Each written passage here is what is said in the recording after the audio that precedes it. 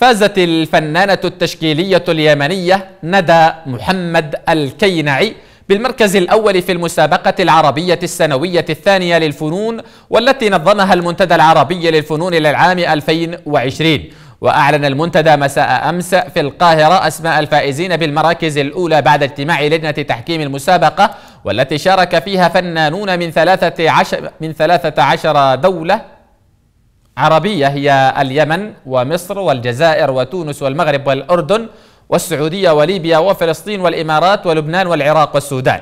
فيما فاز بالمركز الثاني للرسم الفنان التشكيلي السوداني محمد العوض عبد الله وفازت الفنانة التشكيلية الليبية فريحة عبد العزيز الوافي بالمركز الثالث مناصفة مع الفنان التشكيلي السعودي هتان منصور نواوي.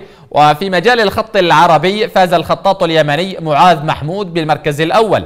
بينما فاز بالمركز الثاني للخط العربي الخطاط اليمني فؤاد زيد العمري.